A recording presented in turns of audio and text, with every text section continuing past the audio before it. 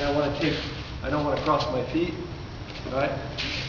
And I want to kind of take small steps and kind of keep, keep, like there's a string attached to my, my uh, ankles, right? I don't want to go too wide, and I don't want to, here, I want to kind of keep it taut, just like this. I want to be, feet should be about shoulder width apart. So, back to this exercise. We go across the mat, right? So what you're gonna do is you're gonna plant, and then you're gonna sweep with your hip, right? And then you're gonna pull this sleeve, right? You're gonna pull this sleeve across, whether it's left or right.